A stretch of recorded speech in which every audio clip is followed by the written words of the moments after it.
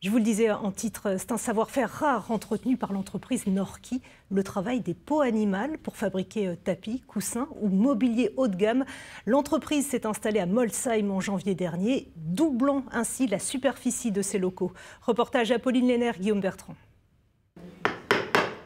La peau animale est un matériau qui nécessite un savoir-faire rare. Un véritable défi, parfois pour les six couturières et tapissières de l'entreprise alsacienne créée en 2010.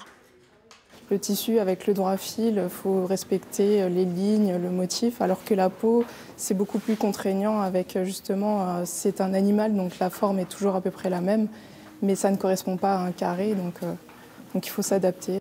C'est ici qu'elles ont peaufiné leur métier car les formations spécifiques à la peau sont presque inexistantes. Noémie, qui avait l'habitude de travailler le tissu, le voit comme une chance. C'est de toute façon des peaux dont on mange la viande principalement, donc de toute façon euh, c'est de la peau qui serait perdue. Donc euh, nous, euh, on l'embellit. Ces peaux et ces fourrures viennent principalement d'Europe. Nous avons tout notre stock de, de peaux d'agneau, de, de peaux de mouton, euh, là, vous avez par exemple de l'agneau rasé européen. Il faut que nos, nos peaux d'origine viennent d'élevage où on respecte les animaux, parce que plus un animal est bien nourri, plus un animal est bien élevé, plus la peau sera belle.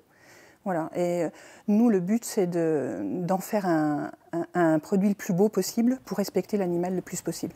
Il y en a pour tous les goûts, mais pas pour tous les porte-monnaies. Ces coussins à 500 euros minimum ont pourtant leur clientèle, principalement étrangère. Ils ont envie de, de, de, de, produits qui tiennent dans le temps et qui racontent une histoire aussi sans doute. Au lieu d'aller peut-être dans la, la, grande distribution où euh, il y a moins d'histoire dans, dans, la création des produits, dans la fabrication, on est sur euh, des jolis produits et ça plaît aussi, euh, l'histoire plaît à nos clients. Malgré les temps qui sont à la défense animale, l'entreprise ne cesse de croître et compte ouvrir trois nouvelles boutiques aux États-Unis et en Suisse.